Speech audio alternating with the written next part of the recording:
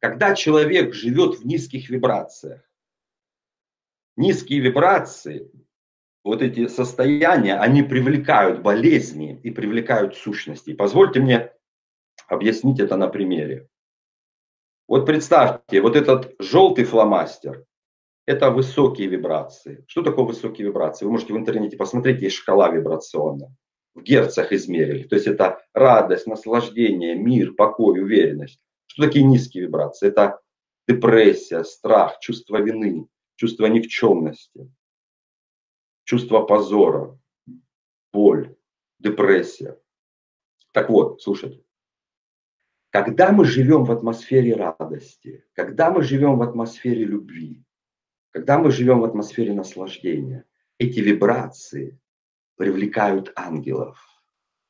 И ангелы, как пчелы на мед, приходят в твою жизнь. И они приходят, и они радуются вместе с тобой, и они содействуют тебе, и помогают тебе, вдохновляют тебя, и содействуют тебе, твоей миссии. Верное обратное, когда ты живешь в атмосфере страха, вины, беспокойства, злобы, непрощения, депрессии.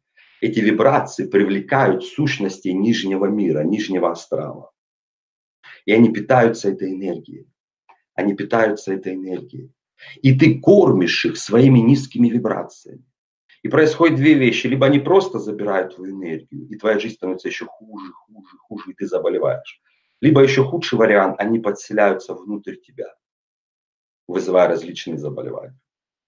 Ну, например, доказано, что болезни суставов, артриты в большинстве случаев связаны с обидой, чувство обиды. То есть человек живет в вибрациях обиды, непрощения, да, и заболевает.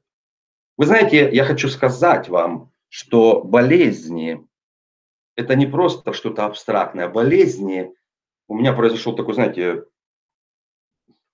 расширение сознания, когда я понял, что болезнь это как живое существо. Вы знаете, что болезни могут реагировать. Это определенная энергоинформационная структура, очень высокоорганизованная. Болезни могут слышать, болезни могут реагировать.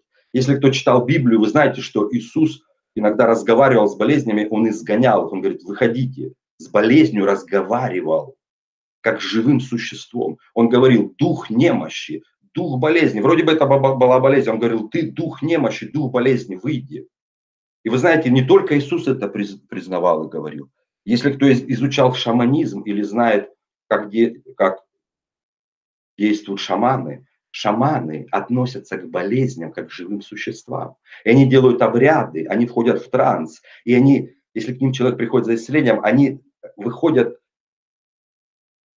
телепатическая связь с болезнью, они договариваются с духом болезни, они договариваются с болезнью, и они вытягивают эту болезнь либо на себя, либо на какое-то животное, да, чтобы утилизировать. То есть они договариваются и разговаривают с болезнью, как с живым существом. Дорогие, вы должны понимать вот этот принцип, что когда вы находитесь в атмосфере радости, наслаждения, принятия, благодарности – вы находитесь в зоне защиты, вы недосягаемы для сил зла, вы недосягаемы для демонов, для сущностей, для болезней. Это знаете, на что похоже? Но когда вы опускаетесь в атмосферу тревоги, страха, беспокойства, саможалости, обиды, позора, вы легкая добыча для болезни, немощи и сущностей. Это похоже, знаете, на что? Ну, например, если ты опустишься в океан, тебя растерзают акулы. Но если ты из океана будешь летать по небу в другом, в другой атмосфере, то акулы тебе не страшны. Скажите, орел боится акул? Скажите, даже воробей боится акул? Нет. Почему? Потому что воробей живет в атмосфере, где акулы не живут. Чтобы воробью столкнуться с акулами, ему нужно в океан нырнуть. Понимаете? Человек, он меня спрашивает, какая лучшая защита от порчи, от болезней, от, от проклятий. Самая лучшая защита – жить в атмосфере радости, наслаждения, благодарности, удовольствия. Это та атмосфера, где поток Творца, ангелы, архангелы, помощь рода, защита высших сил, вознесенные наставники, учителя. Но когда ты спускаешься в атмосферу горя, непрощения, злобы, ярости, похоти, всякого зла. Это там, где находятся демоны болезни, духи немощи, лярвы, все плохое. Поэтому это важно понимать. Если ты живешь в негативе, ты становишься донором для сущностей. Ты становишься донором для демонов. Как минимум отдаешь им свою энергию, а не откачивают. Так вот, моя мысль, мысль этого пункта.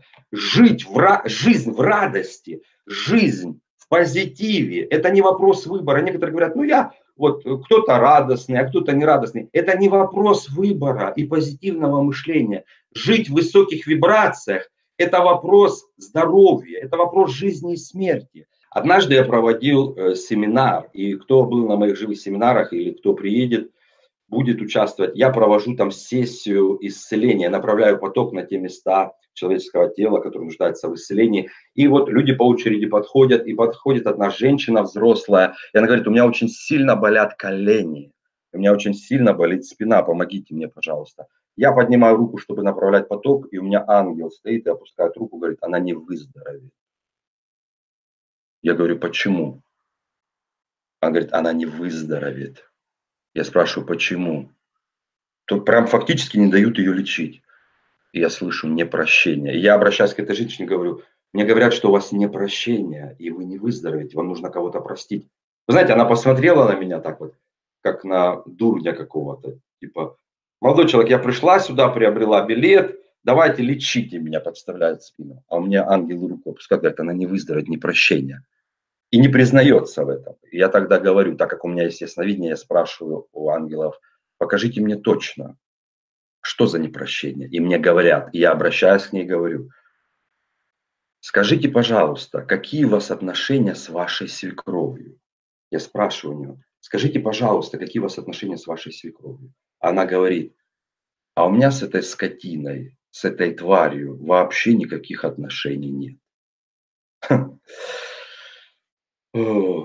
Я объяснил ей, что пока, и если она не простит свою свекровь, она находится в духовной клетке, она связана с ней, и она не может выздороветь.